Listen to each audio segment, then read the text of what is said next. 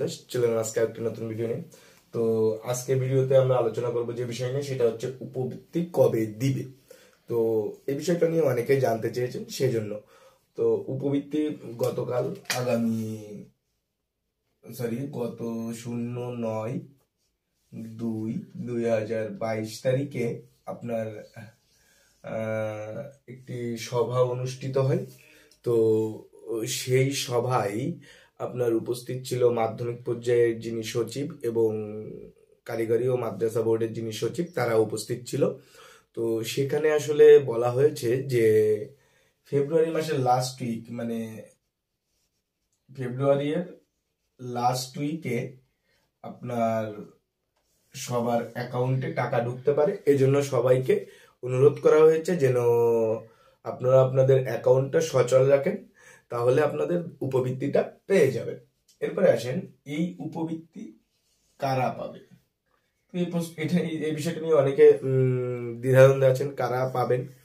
তো বিষয়টা হচ্ছে যারা দ্বিতীয়, চতুর্থ এবং ষষ্ঠ পর্বে অবস্থান করছেন, এই মুহূর্তে মানে আমার ভিডিওটা পাবলিশের সময়, তখন তারাই আর কি উপবৃত্তিগুলো পাবেন? এছাড়াও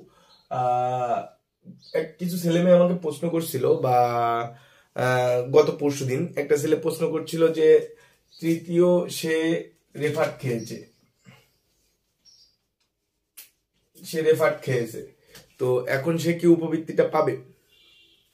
তো বিষয় হচ্ছে যদি তার লিস্টে নাম থেকে থাকে, তাহলে সে উপবৃত্তিটা পাবে। আবার অনেকে এমন আছে যে রেপার্ট খায় নাই, সে কিন্তু উপবৃত্তি পাবে না। এরপরে আসেন যে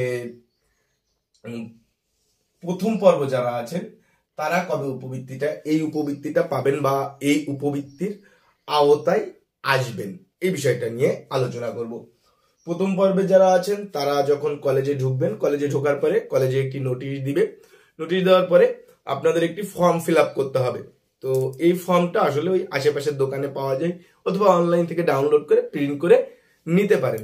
এই ফর্মটা হচ্ছে যে আপনার সেই প্রকল্পের যে উপবৃত্তিটা দেওয়া হয়, সেটা ওই ওয়েবসাইটে পাবেন। সেখান থেকে ডাউনলোড করে নিলে আপনারা দেখতে পাবেন। তো সুতরাং সামনে রোজা আসছে, রোজার আগেই দ্বিতীয় ও চতুর্থ ও ষষ্ঠ পর্বের টাকাটা দিয়ে দেবে। তো আরও একটু, আমার মতো আরও একটু পরে দিলে ভালো হতো। তাহলে আপনারা ঈদের সময় একটু খুশিতে বিয়ার করতে পারতেন। তো যাই হোক এটাই ছিল আজকের মতো।